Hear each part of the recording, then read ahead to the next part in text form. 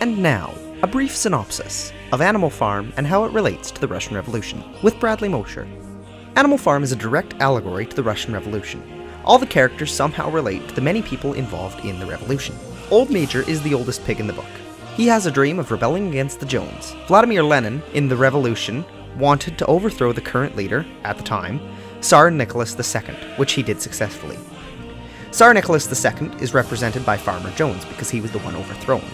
Nicholas II was the last emperor of Russia, ruling from the 1st of November 1894 until his forced abdication on the 15th of March 1917. Comrade Napoleon represents Joseph Stalin.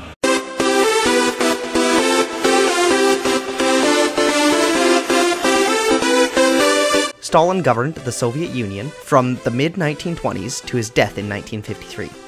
The Battle of the Cowshed was an attempt made by the humans to reclaim the farm. This represents the British invasion of Russia.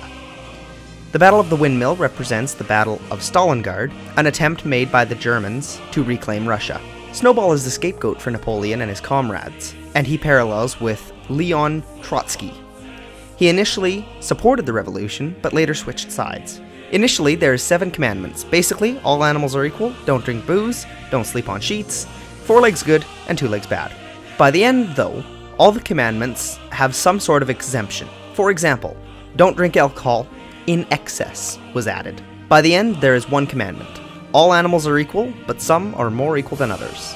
And at the very end, the pigs are meeting with the humans, standing on two legs, and the pigs and the humans are indistinguishable from each other.